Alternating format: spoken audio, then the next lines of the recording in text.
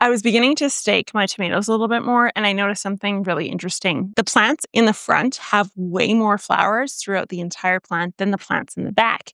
And then it actually led me to a video idea, and it's all about why plants tend to slow down in flower production in specific areas. The entire slowdown is because of the color red. Turns out that red from afar, as with most red from afar, are a complete turnoff when it comes to plants and specifically reproduction and flowers, which is my experience in the human world as well. But when red is nice up and close and in your face, then plants like to put on a ton of flowers and reproduce until the end of time. So the question becomes how does the plant end up with more far red light than red light? How is this ratio even disrupted? And how do you correct it if it is? Well, it turns out that far red light is increased when you have plants that are too densely planted. I remember when I did a whole video on plant spacing and the value in making sure everything is spaced properly. And I told you, Geek Crew, that I would never in a million years overcrowd my gardens this year. Well, here we are. A garden that is very overcrowded with absolutely no flowers in it because of the overcrowding. Well, it turns out all the green is actually decreasing red light and increasing the ratio of far red light. Now, this change in ratio, is that like a hang 10? No, this is like hang 10. Anyways, I'm from Saskatchewan where there is no surfing at all. There could be. The wind, the wind is there to be able to surf, the water is not. The water is not. You're like a desert. This change in ratio between far red light and red light actually triggers what we call a shade avoidance response. This, very simply put, is a fancy word for plants being told either compete or die. And that means you can cue stem elongation, legginess, excessive levels of foliage, and absolutely no flowers. When it comes to the color red and being able to see it and thrive in it, it is truly survival of the fittest. So let's loop into the science. Plants use proteins called phytochromes to detect red and far red light. These act as photoreceptors, biological light switches, if you will. When the red light is dominant, these phytochromes stay active, and these active phytochromes signal to the plant make flowers. Remember, we're talking about ratios. So when far red light is the dominant light, the phytochromes actually turn off, which signals to the plant do not produce flowers. And this isn't just a theory.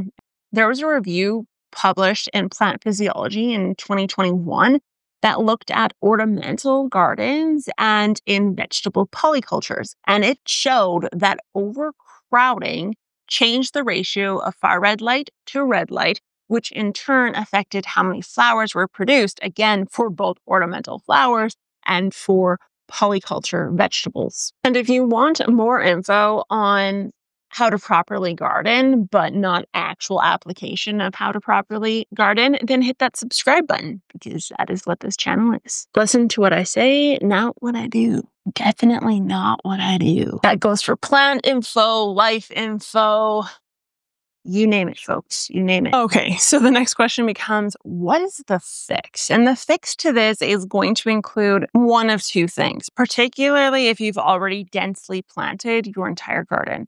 Number one is if there is visible soil, you want to put some light reflecting mulch down.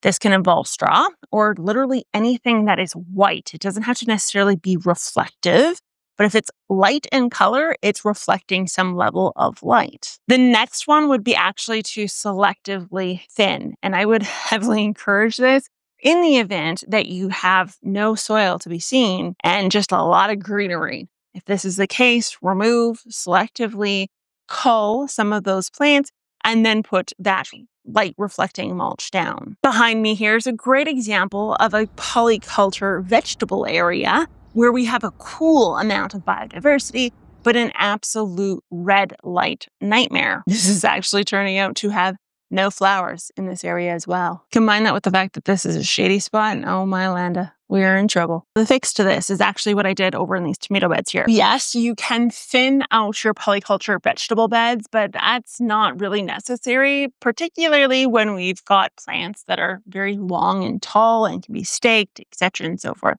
So, number one is you're going to stake whatever can possibly be staked. In the case of that garden over there, I need to get some trellising going to make those squash go upwards in hopes of allowing those lower plants to get some of that red light and less of the far red light.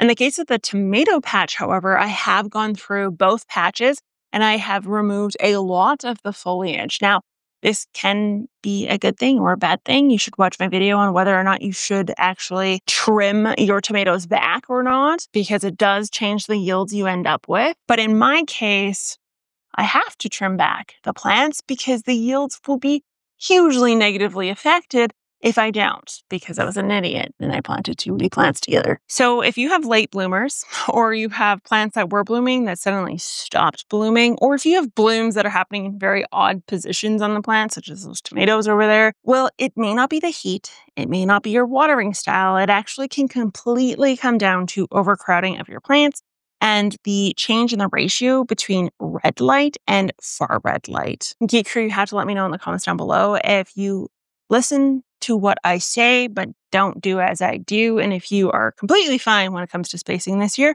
or if you've overcrowded like I have once again, and you are having flowering issues once again, once again. So, any users, I will talk to you guys next time. Bye.